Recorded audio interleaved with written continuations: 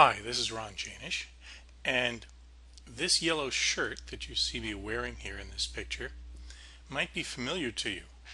If you saw the video of Dr. Andrews live, teaching the seminar live, you'll notice that I'm in that video and uh, we're talking about gold and the action-reaction techniques. So if you want to see Dr. Andrews live, uh, teaching a seminar that occurred many years ago, I was one of his students and uh, when I teach the course one of the things I do is is I tell you what I learned from Dr. Andrews and I explain what is mine as a result of my research and, and there's differences. Uh, the we're, we're going to take a look at some of the things that we cover in the advanced action reaction course.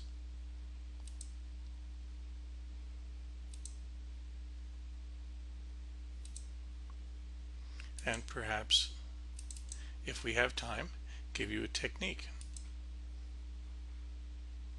Here's the manual and these are the specific things that we cover in the manual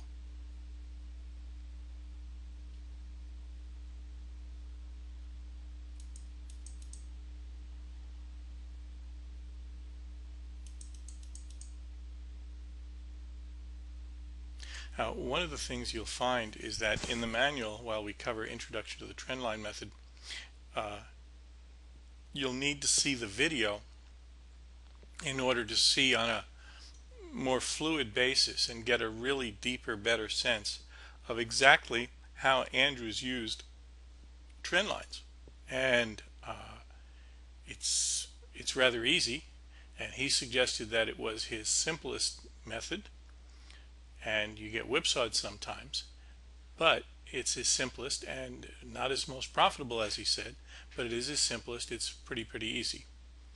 We also go into the other things that he taught the action reaction method application and selection of those lines case studies of combining course methods. Then we look at day trading and getting in near the beginning of the trend and then something called the Jaenisch Golden Pivot Rule. In a moment we'll show you a little more.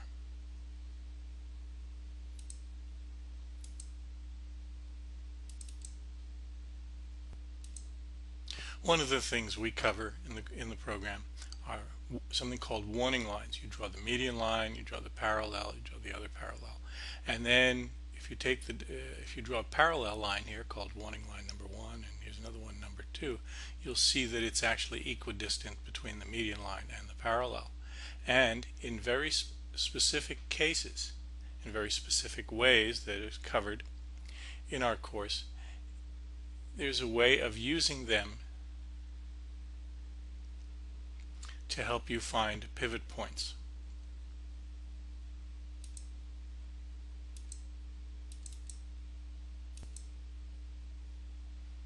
Here's another example that's in the manual itself.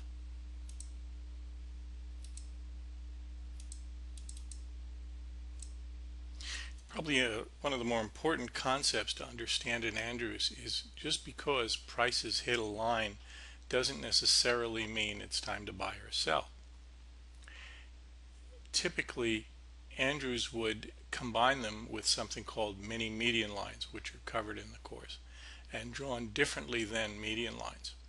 And here we see an example of a buy using a mini median line and the parallels. And here's an example of a sell using the mini median lines and the parallels.